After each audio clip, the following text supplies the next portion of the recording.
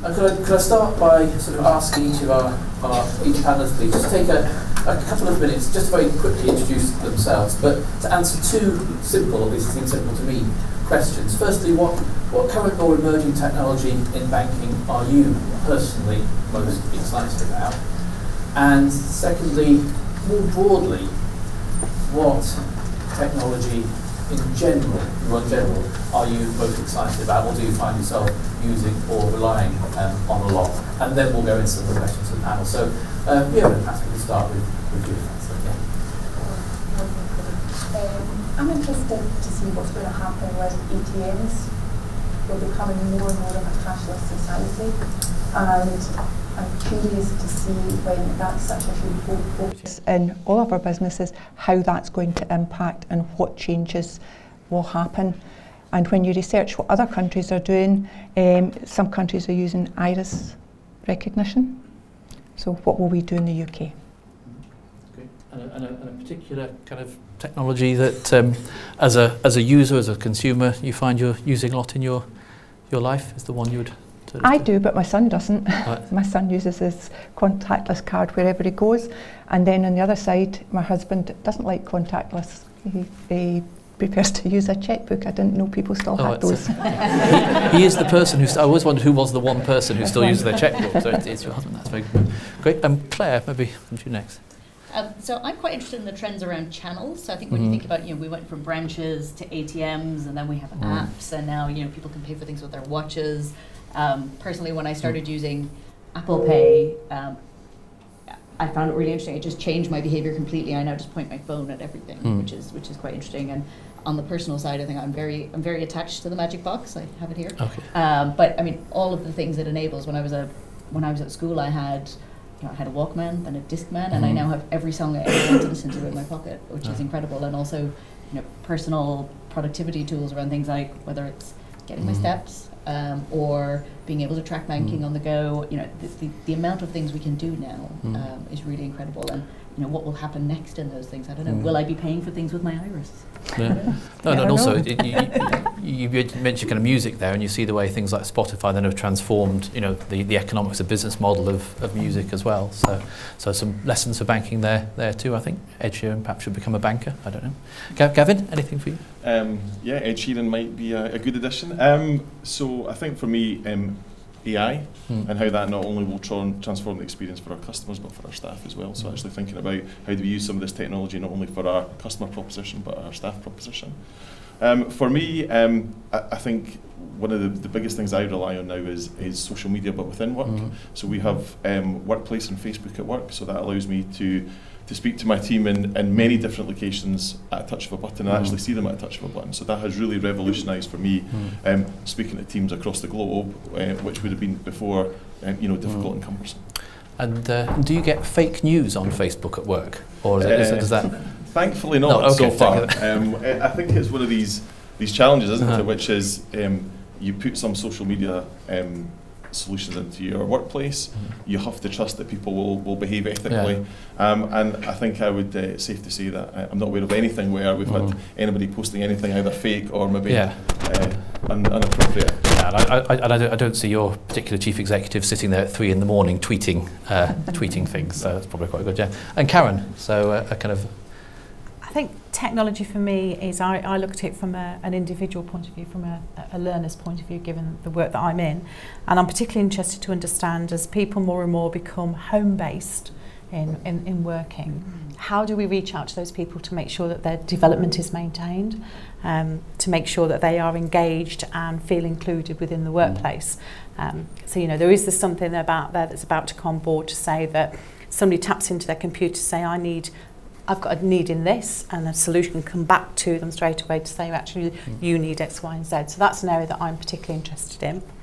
Um, from a personal point of view, I think the one area that I am looking at at the moment is YouTube, mm. um, because I don't personally use, use YouTube as myself, but my husband does, mm. uh, which is hugely da dangerous because he's, a, he's, he's technophobic. But if he wants to change something on his car, like change a filter, it was what he did last week, YouTube was there. But equally, so does my five-year-old grandson. Mm. He's on it all of the time.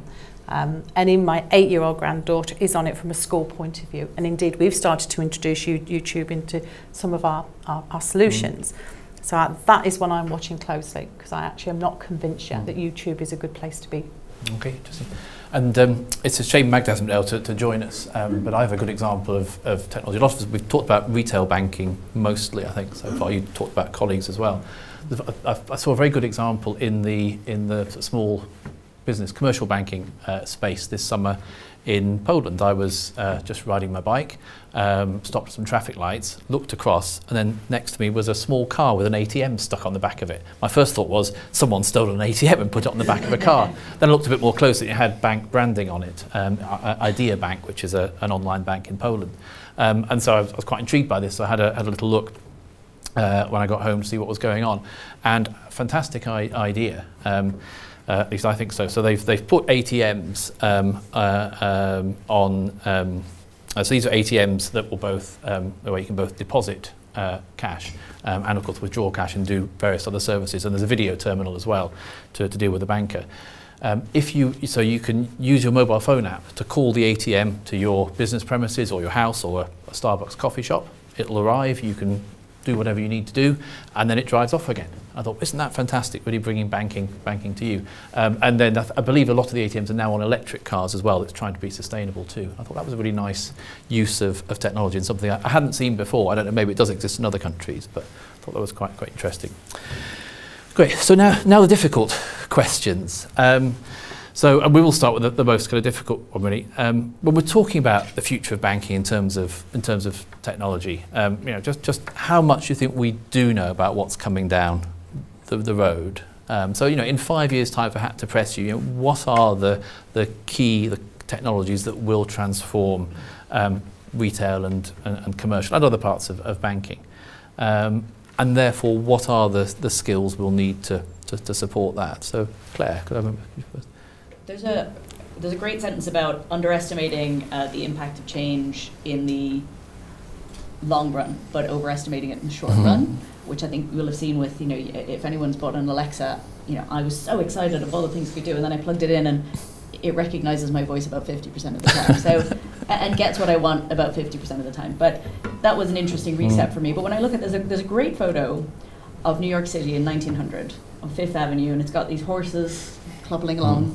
And then there's the same photo from the same vantage point five years later, and there's two rows of hmm. Model T Ford cars driving up and down. And it's, it's really incredible to put these two things side by side and see how, in the space of five years, there's a completely huge shift in the landscape. So, um, you know, I'm really excited. Um, I'm a reformed learning and development professional.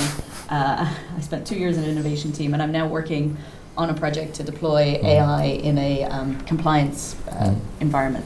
And it's really amazing when we look at the potential for, you know, a lot of what we're doing in banks involves sifting through false positives. You've got to look and make sure mm. it's not something to be concerned about, but you know, there's a there's a significant number of what analysts are looking at every day that isn't of concern. And how do we move past that? How do we validate the systems are doing things in the right way? And how do we get to a place where staff are only looking at the things that really do need their attention. So I think that's hugely enabling, and, and you know, the impact that that can have across the banking sector is, is going to be something else.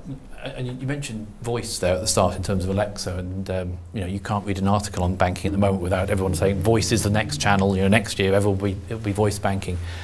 I mean, from your early comments, you expect you, that's quite a way off. Do you see it then?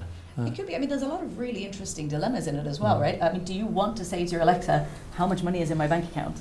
Uh, mm. And then the next day down the shop, have your kids say, "But Daddy, Alexa said you had." um, you know, so there's some really interesting yeah, challenges, but you can address that through things like percentages. You set a percentage that says 500 pounds is 100%, mm. Mm-hmm. and when Alexa says you have 125% in your bank account, you know what that means. No mm. one else in the room knows what that means. Um, so there's some really interesting challenges you can work through and start start thinking about. I personally would love to have the ability to voice dictate all my emails. Um, mm. You know, moving from that mode of doing this all day to actually talking and interacting mm. um, more so that can be more natural. So mm. capability. Great, thank you. Yeah. We, we looked like you wanted to come in at one point there. I'd like to eliminate my email oh. could, or get a robot to deal with it. Um, I think a lot depends on banks' abilities to leverage the power of customer insight um, and advanced analytics and the digital technologies that they have and be able to provide services to our tech savvy customers. I think customers at the moment in many ways are more tech savvy than us. I think that goes in age bands as well, if I'm being honest. Um, not everybody has a smartphone, and a lot of the technologies we're doing are working towards capability on smart devices. So it'll be interesting to see, I think, as well with um, PSD2 and the challenges that brings with bringing on third party providers, um, what that does to us and what the risks attached to that are. I don't think we'll ever lose sight of risk and what that brings, but also I think the impact on other departments within our organisations, you know, getting up to speed and using things like internal audit. Um, are they moving at the same pace or where are we focused on? And I think from that viewpoint that we need to make sure that we're taking everybody with us, but also not lose sight that when you talk about smart devices and capability of these devices, that's experiences for customers. So customers are thinking more about the experience than the transaction. Yeah. I think just to build on that point, I think for me, the technology is, is, is important, but the technology will continue to change. So I think the two key points for us is how do we understand and stay ahead of that technology, but understand what the technology can do to improve that customer experience. Because I think for me that will be the key battleground and the key differentiator for us as financial services, which says how do we give people that seamless customer experience that they get used to from other providers mm-hmm. like Amazon, like Uber. So it's about understanding the technology, but then quickly applying that technology to banking and that customer mm-hmm. experience. I think that's the crucial question that I think we all will face mm-hmm. over the next mm-hmm. five years. And, and maybe if I can Gavin, um, take you back onto the learning development side because you're almost the opposite of, of yeah. Claire in that you're a reformed banker who's moved into the learning and development right. uh, uh, side. So it's we're having a kind of therapy group yeah. here. Um, so, you know, I'm, I'm, sure you must have kind of colleagues from the business kind of phoning up and saying, oh, voice is the next thing. We need to train everyone in, in, in voice. We need to, you know, how, how are you kind of coping with the demands when people are saying, look, we need, we need this, we need this, we need to build capabilities in X, Y, and Z, whereas actually the truth is we're not really sure what's going to happen over the next five, ten so years think, and beyond. Um, I, I think we approach it in three different ways. So first of all, I think you need to help leaders understand how they now lead in this environment where there is mm. so much uncertainty, there is so much need to collaborate in a different way, work in a different way, even to work in partnership. So, you know, there, there is no way that we can be experts on everything. Mm. So actually, how do you form strategic partnerships with people who do know yeah. this? So I think we have to help our leaders, first of all, understand and have the right skills to, to work in this environment. I think what we then start to focus on is what are those critical skills that, that form the foundation of, of how people will operate in mm. the, the, current climate. So things like critical thinking, things like being connected and collaboration. And then, mm. you're right, Simon, we have to get into that more technical space yeah. and understand what are those technical requirements and, and start to train. I guess we have an approach that says we can lay some bets, mm-hmm. but we also, I think, have a, a very mature view now which says we might get some of those bets wrong, mm-hmm. but we may also help people um, you know, be, be, be learning for the job that they may have tomorrow or the job mm. that they mm-hmm. may not even know that they're going to yeah. get. So actually, how do you manage helping people learn for the job today and the career that they'll have tomorrow and, and, and trying to find that balance? And, and mm. it's, mm-hmm. it's not easy, but uh, I think continually just listening to your mm. to the market and those partners does help a lot. Mm. But I think there are some kind of core, well, probably core banking skills and core learning skills around that. So maybe I'll bring my colleague Karen from the Institute in, in here. I mean, how can, how can we and other professional bodies and the education sector help with this? I think as a reformed banker and a reformed L&D specialist, I don't quite know what I am, um, my, my focus is, is always been around the individuals. So I'm, I'm really interested to see um, where individuals will be in terms of supporting customers going forward. So in five years' time, you know, are they going to come IT experts, you know, techno technology experts, because that's what the customers are looking for them to do. And if that is the case, where does educa educa banking education sit? You know, is a what is a dynamic of how we educate our people from a, being a banking professional going to change? Is a subject matter that we need to qualify them in going to change? So I'm really interested to see how that evolves over the next five years and sits with the customer experience, the development of the individuals and, and the requirements of the bank. Mm. And I think that's an interesting challenge there because actually do we need to think about it the, in a, another way around which says how do you help our IT people become professional bankers mm-hmm. because actually yeah. the person that may speak to your customers most is not the person in the branch mm-hmm. but the person who's programming your IBM Watson yeah. chatbot to speak to many mm-hmm. customers mm-hmm. so I think that's a fascinating angle on it which says actually how, mm-hmm. how do we reverse engineer things and find um, you know technologists who want to become bankers Mm. You touched on something quite interesting as well in that there's there's jobs coming up now that didn't exist before. Um, so I mean, there is an entire job out there for tone of voice for chatbot, and the tone of voice that you have for a chatbot for a professional a bank like HSBC versus the tone of voice you might have for a consumer company like Apple or um, you know a, I don't know, a more reverent company. They're completely different, and it's quite interesting because how do you then evolve your, you know, all your job families and mm. hiring and all of that to account for these unique and different roles? And they also then become quite interesting in the concept of, you know, everything that sits on data. All of the all of the artificial intelligence sits on data, and how do you now get people who are able to, whether it's keep an eye on the algorithms, whether it's understand the underlying data and making sure that things that are going in are correct. There was a, a very interesting story that came out of um, a Norwegian bank where they had applied um, artificial intelligence to decision-making process for loans. And what they were finding was that 80% of the loans were going to gentlemen. Um, and when they unpicked what was in the system, there was a checkbox in there for whether or not you had done your military service. And the, ah, the, the system had decided that military service was a good thing, and therefore, and because it was predominantly something that was male, it, it became a proxy for gender. And you know, when you go through it, and find it, you can you can change it and adapt it and, and retrain the system. But it's just quite interesting. How do you make sure you have the right people looking at the right things to spot those mm-hmm. things? And so a lot of what we've been doing in some bringing some of these systems online is kind of running in parallel.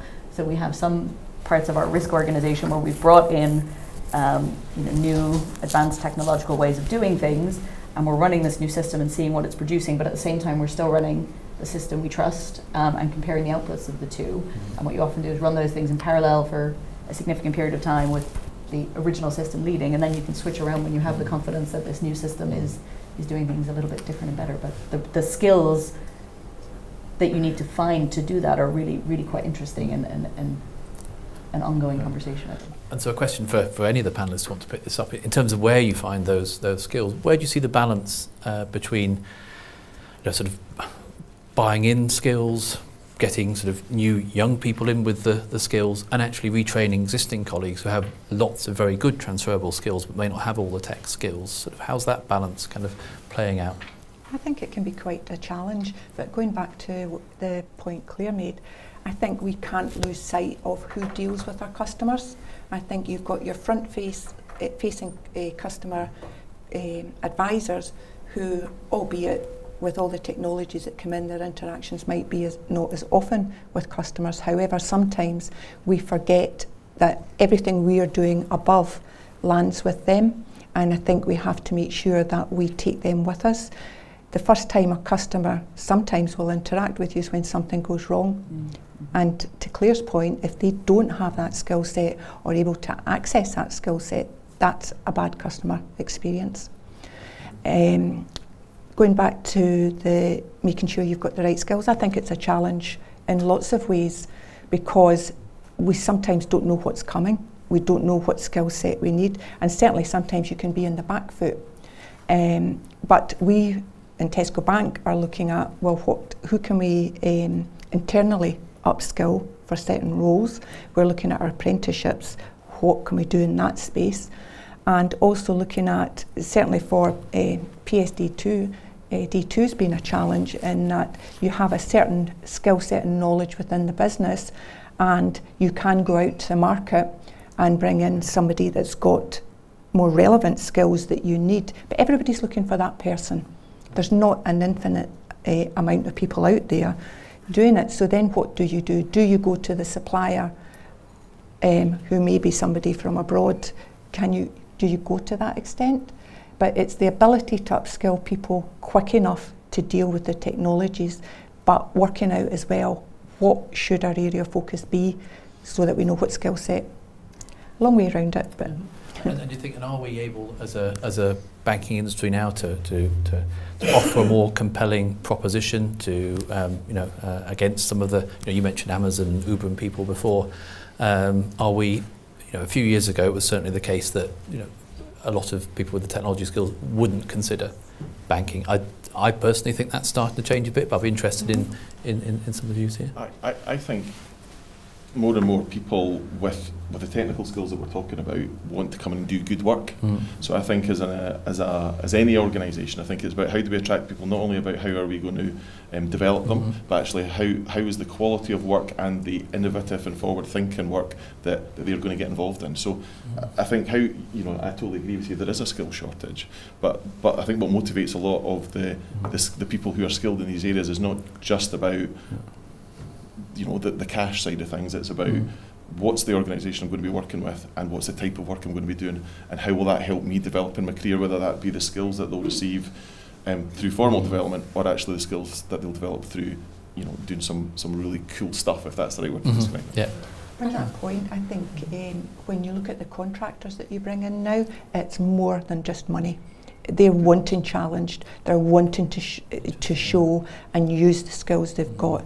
And there's been a slight change I've noticed in behaviour, and that they're now more willing to upskill people in role, which I haven't seen before. I'm quite interested in uh, one of the things you'll you'll hear in the media is you know gosh there's a huge shortage of data scientists can't find these people but uh, and actually organizations are sometimes very focused on how do we get that PhD level hugely detailed data scientists and you don't need 50 of those people to run to run a team you need one or two of those but they need to be supported by people who understand your data and how it works and a lot of the work in data science is cleansing the data making sure you're putting again going back to that proxy Mm. for gender looking at it to make sure you're putting the right data in it's in good shape, you know, and that isn't necessarily what that PhD person is doing while they're setting the context. Um, you know, but how do you take you, you may have existing people in your organization who have the right skills to be brought to that. So I think it's very interesting looking at, you know, as we move towards this deep focus on, on data and data scientists, how do you take your business analysts, who are probably the people who understand quite well your data landscape, and give them the right mm. skills to actually transition over? And I think very often we have we have talented people with the ability to learn, and it's getting that right context in place to, to move them into the more relevant roles. I think a build on that is sometimes you don't know the skills and capabilities you have in your organisation. So how good are your HR systems around capturing the skills and capabilities that you already have? Fantastic story last week for me in that um, I work in L&D. Um, we were sought out by a technology graduate uh, who turned out he had a degree in gamification and learning. But he'd found his way onto Yeah. a technology graduate scheme rather than towards Mhm. us. So fantastic. We are looking to try and build that capability, but there's a 22 year old lad sitting in Edinburgh who wants to do that work but is just in the wrong place. So, yeah. organisationally, we've got a real responsibility, I think, to, to look within and mm. then, as you say, then think about our strategy is it, is it buy, borrow, or build? Mm. Um, but I think we do, um, at our peril, not look wider to understand what, you know, there are so many people go through secondary education. Um, but don't get the career that they want because those opportunities weren't there, but they may well be coming along. Mm. So how do we how do we just you know, look on our own doorstep, I think is important. Mm. I think as well to add to that is that when we look at our talent databases, we need to stop looking at our sort of middle to top talent. We need to start looking from talent bottom up. There is a huge amount of talent, as you say, graduates just coming out of uni or people who are coming out of college. Not every child that goes into education wants to do a degree. There is a lot of intelligent children out there who want to come into banks uh, and get a career in banking that don't necessarily have a degree, and there's nothing wrong with that. I think one of the challenges as well is that the world of banking is changing at such a rapid pace and no matter what skill sets we're talking about today, no matter what those skill sets are and, and where they'll be, you can guarantee that in six months time the world of banking will change that skill set requirement again. So how do we keep pace with that? How do we keep pace that as, as banks, as L&D professionals, as professional bodies? It's that rapid pace of change that doesn't seem to be slowing down with banking, that for me is the biggest challenge. So we always stay mm-hmm. relevant and on on time. And I think, Anne, it's almost how do we prepare our people to survive and thrive in that type of environment. Absolutely. So, mm. so you know, it's almost how do we teach them to fish to find out where to go for that capability build or, or who to speak to. So, I think, I think what we can predict is that things will keep changing. So, actually, how do we build? Our propositions around those kind of key skills to help people thrive, and then to, as you say, adjust to those different technological changes that, that frankly, not all of us can predict quickly. Mhm. Good. One of the things um, I think we need to start doing is looking from talent from your CSRs on the phone, your customer advisors on the phone, and start looking at that. That's your biggest, well, our biggest population.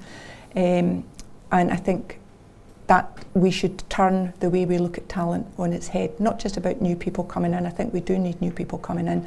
I read an interesting article, I think it was um, PwC, that was saying we will need to retrain 60 to 70% of our staff. That's a huge opportunity for existing staff mm-hmm. that want developed. I, one of the challenges we've got um, in Tesco Bank is on apprenticeships. That's a, a, really great opportunity for colleagues. However, we need to burst the myth of what an apprenticeship is for some of the older people uh, in the call centre. Our, we have um, roughly 12% of our staff under 25, age 25. So we've got a huge population of staff there that we can influence and educate, but they need to want to do it. Um, and the opportunity is there to do it. We do find it easier in England and Scotland because of the way the levy works. We'll be coming to that next, next panel. Yeah, next panel. My favourite topic, Alison. Alison's prime to bring that one up later. So. But yeah, I think we do start need to. I think when I was speaking earlier about bringing internal audit and risk departments up to speed, I do think we need to bring our talent um, and capability department up to speed as well and look at and reverse it a little bit. We, I, I was speaking to Colin, I don't know where he is at the moment, but I was speaking to him earlier and I was saying one of the things that we have done is we are not doing our graduate programme at the moment. We are focusing on bringing apprenticeships in. However, there, there is a keenness there to do well and be professional in banking. They all do the chartered banker uh, certificate, but we're using a couple of them for reverse mentoring with our directors, and they find that a breath of fresh air. Um, and I think we need to start thinking about how we move up instead of always coming down. I think for me, um, all of that is absolutely correct, and I think as a, as a an organisation, you've got a responsibility to upskill all of your employees, no matter how young, old, etc. there are.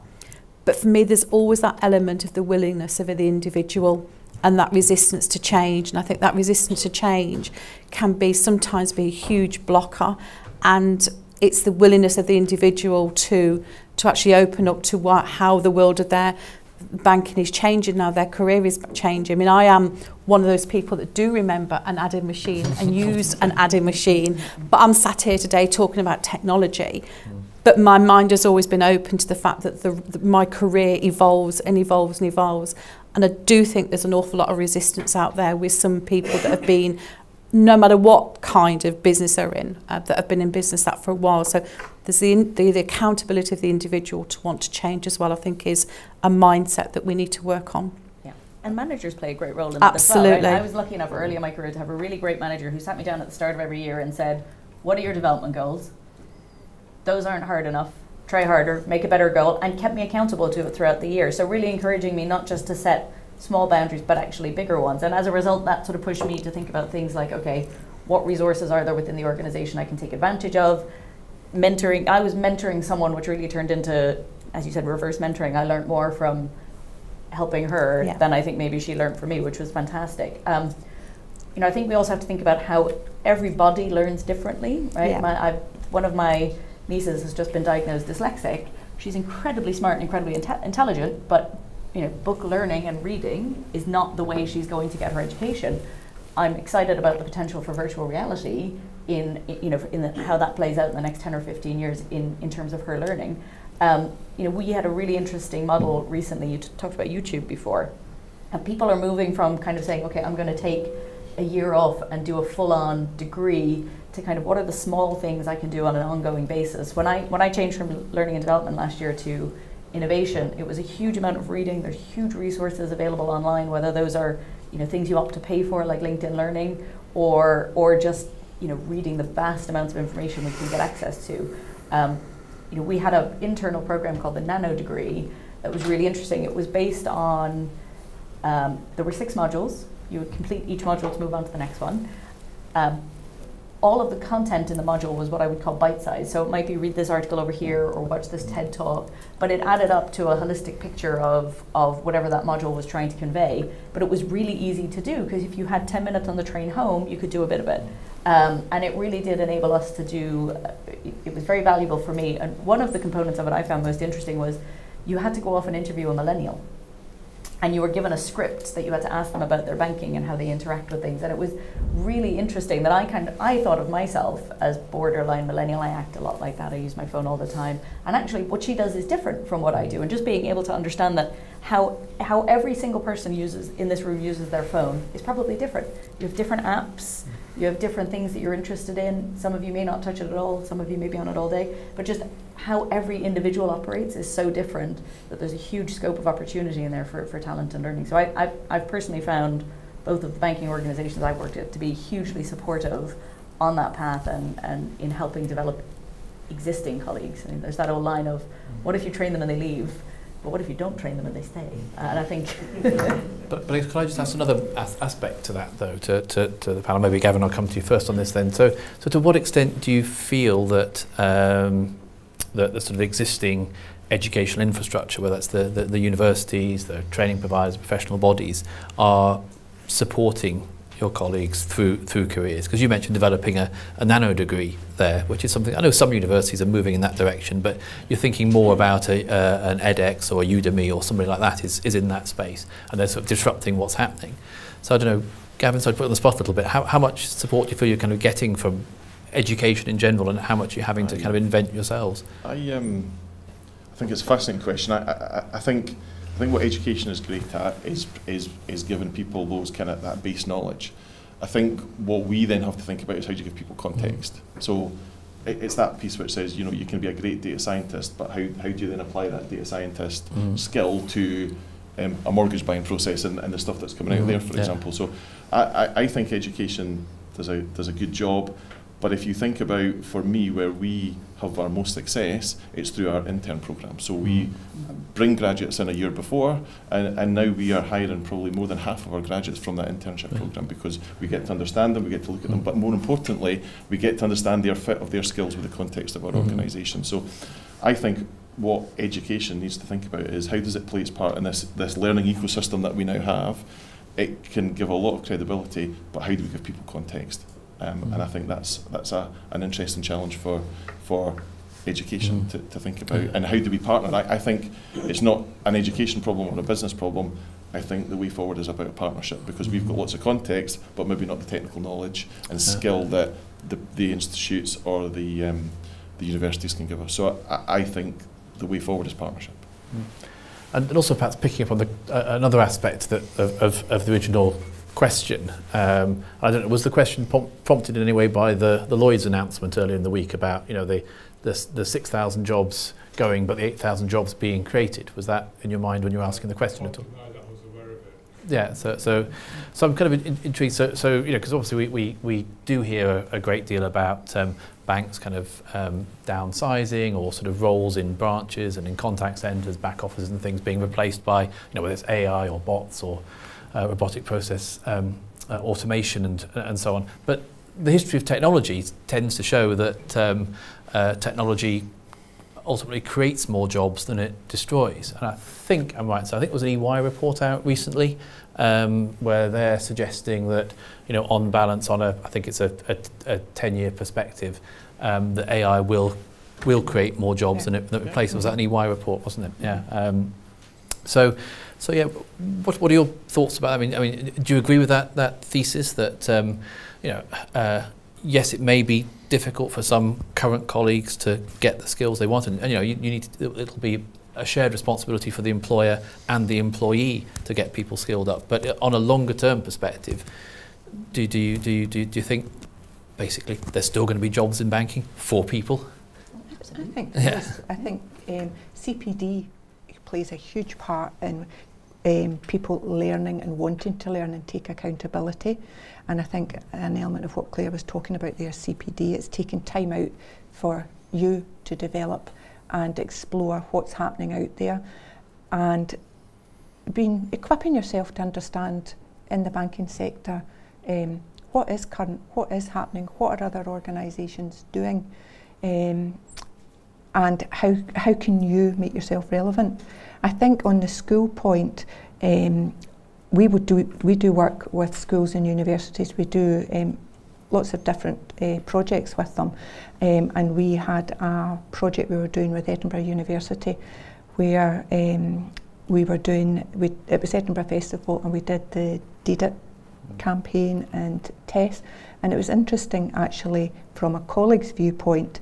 Colleagues do want to learn, but they want the time to learn. And there is the perception that that time should be in work time. And I think from uh, somebody who does do CPD and takes it seriously, a lot of that happens out with work. You do it, you take accountability, you're personal for doing it. And I think we can do a little bit more of that with schools as well mm-hmm. and educate um, pupils who are leaving school to think about what they're doing, explore a little bit more than they do. I'm quite excited. One of the things that we're seeing is uh, it, it's not that AI is replacing people, it's that we're bringing in tools that support our colleagues. So rather than any one role being eliminated, there's certain things that are happening that make roles easier. So, for example, last year I was on a team that worked to um, deploy optical character recognition in branches in China. Now, optical character recognition is long solved in the UK. You can mm-hmm. scan in a document and it'll be pretty well recognized, but it was a harder problem in Chinese. It's a harder harder language. And what that meant for frontline staff was if a if a client in a branch handed in a change of address form, rather than sitting there for five minutes trying to translate it into the system and work it out, they could scan it in and the system would do that and it would give them a prompt saying, I think it's this, have I got it right? Um, so just making people's lives easier so they can spend more time with the customer. So what we're finding is in, there was a book recently somebody put out called Human Plus Machine, and it really is, it's all about what happens in the plus. Have we given our colleagues the skills to interact with these new tools that make their lives a little bit easier? But to your point of technology creating new jobs, I, I love the example again of watching what happened in the automobile industry. Right? When, when, when cars were first invented, there were some very obvious things that people thought of, of, you know, yes, okay, we're going to need roads, we're going to need bridges, we're going to need um, mechanics and engineers um, and petrol stations. But then you start to expand that, and, and, somebody thought, oh, well, let's make a car wash. Let me make some money out of washing these things. Or you have like the California custom cars where people do crazy things to them. But you know, all of these things are an extension of that technology, mm. and I'm fascinated. To, you know, where will we be ten years from now when those extensions have sort of played through? I think that would be quite interesting. Yeah, an avatar wash, maybe.